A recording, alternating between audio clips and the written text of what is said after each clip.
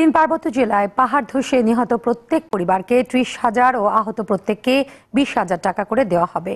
বিকেলে সচিবালয়ে নিজ মন্ত্রণালয়ে কথা জানান দুর্যোগ ব্যবস্থাপনা ও ত্রাণমন্ত্রী মোফাসেল হোসেন চৌধুরী মায়া।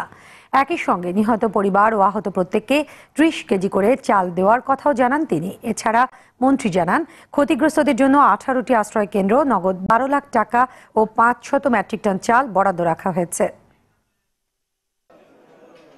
আমাদের যে চারজন বীর সৈনিক শহীদ হয়েছেন, একজন হলেন major Mahfuz, captain Tanvir, corporal Aziz, সৈনিক শাহিন। সেনাবাহিনী উদ্ধার কাজ এখন তৎপর তৎপরতা করছেন। এখনও গুড়ি গুড়ি বৃষ্টি হচ্ছে। কিছু মৃদু বাতাস চলছে সেখানে। কিন্তু উদ্ধার কাজে সেনাবাহিনী, আমাদের ফায়ার ব্রিগেড, স্বেচ্ছাসেবক, দলীয় কর্মীরা আপ্রাণ চেষ্টা চালাচ্ছেন তাদের উদ্ধার কাজে সহায়তা করার জন্য।